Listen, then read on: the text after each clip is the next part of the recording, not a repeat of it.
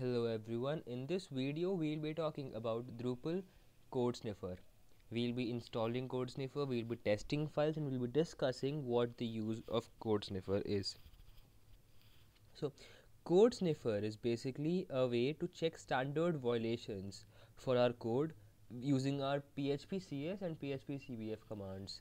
phpcs command checks for the code and phpcbf helps us fix it so we're gonna use it uh, we're gonna install uh, this php code sniffer in our system right now and we're gonna test a few files for some standard violations and then um, we're gonna uh, let's uh, let's start. All right so we need to open our terminal. Uh, we need to be on a home directory. In case you are not you can use this command at any time and then uh, you will go to your home directory. And then we need to clone our um, coder in this. We'll be downloading coder first so we need to uh, clone it. So we'll go to our project for Drupal project for code coder. We need to go to version control and then we need to use this command. Not terminal. All right um, it has already been existing so we'll just remove that.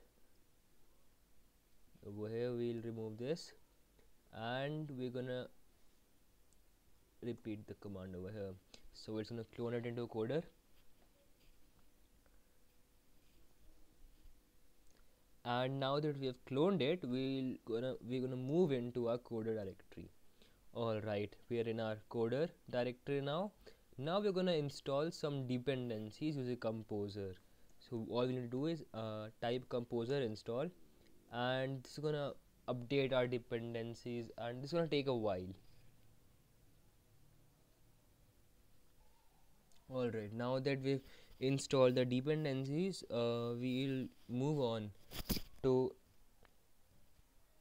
create a symlink for the php csnp hpcbf file now I've had um, these in my sublime so that there is no error in copying and pasting and spacing.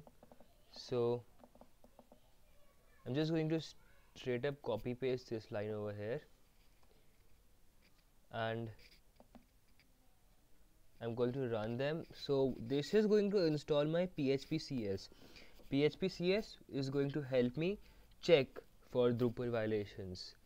Alright I'm going to enter my password and um, this says the PHP file exists but um, since we need uh, since for uh, we're installing screencast in this we're going to delete that file over here. So in usr bin and phpcs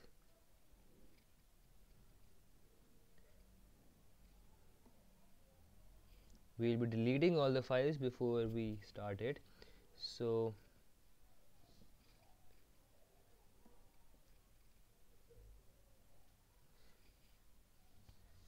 we'll delete this.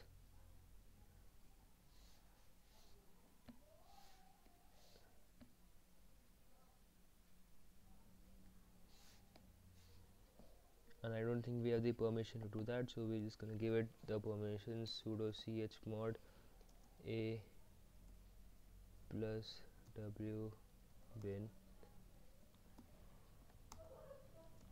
cd bin. And um, we need to find the file.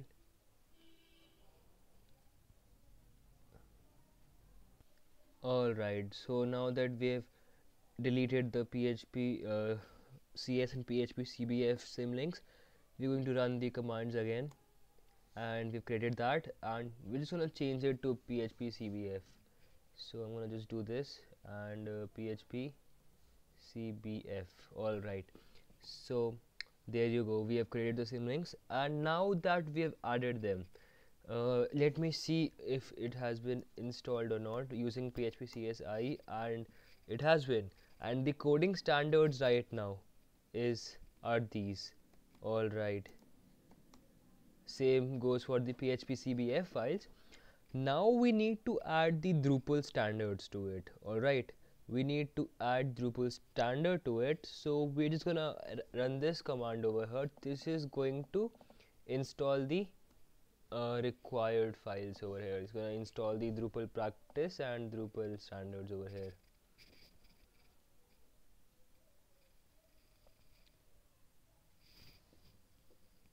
So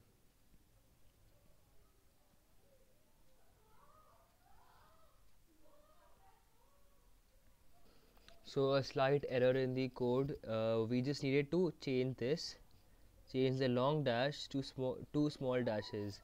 This shouldn't be uh, this this shouldn't be a long dash. Instead it should be two small dashes. And um, this is going to install the path successfully. Now what it did it did was it was uh, it installed the uh, coder sniffer and it installed drupal and drupal practice in my coder sniffer files so we're just gonna check if uh, they have been installed in my php cs or not. We're going to type php cs uh, dash information. And as you can see our standards have been installed.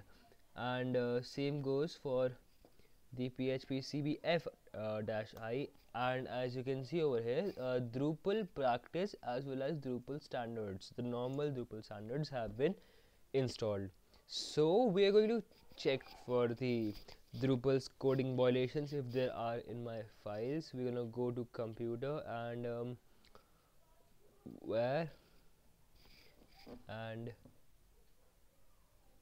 this file and HTML and we'll check for Drupal and um, redirecting path source plugin block say we need to check this file over here so I'm gonna open my terminal and I'm going to type. Now I am going to check for the coding violations I'm going to use PHP CS and then I'm going to add the standard to it against which it's going to check my code which is going to be Drupal. Alright and I'm going to name the file that it's going to be checking uh, so this is redirecting block dash php and it did not find anything to no errors or anything. So we're just gonna give it a few errors. Let's see if it can understand that check. All right. So now that we did this we can find the error in it. So we're just going to run php cbf now. As you can uh, read over here it it says php cbf can fix the file. So we're going to go back over here and we're going to php cbf and let's see if it works or not. So now when I come back over here and I uh, say reload I can see that the star has been replaced again. So let me check for the violations again using php cs and there are no violations. So I think that's working. Now that we have installed it uh, we need to add it into our sublime text or any editor of my of your choice. I'm going to add code sniffer to my sublime text. So i have the code over here which i am going to run. This is uh, the code that i will be running to add code sniffer to my sublime text. All right so i need to uh, run this command in my terminal.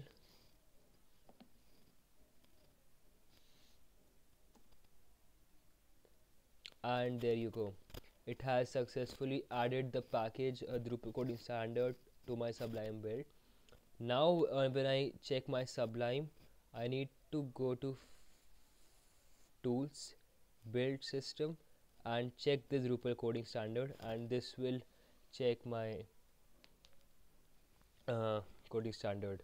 So we're gonna open this using sublime text. And we're going to run control plus b. So no errors as of now. Now in case I uh, need to check if there are errors I'll just change this and then I'm to run control plus b.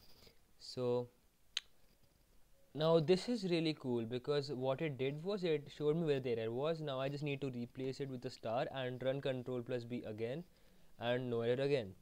Alright so like uh, in case I uh, in, to demonstrate again I'm just going to erase this star from here and I'm going to uh, press control plus B again. And you can see so many errors over here. So we just need to add the star and check for the errors so that is how you install Drupal coding standards to your PHP file. Alright thank you guys for watching and Godspeed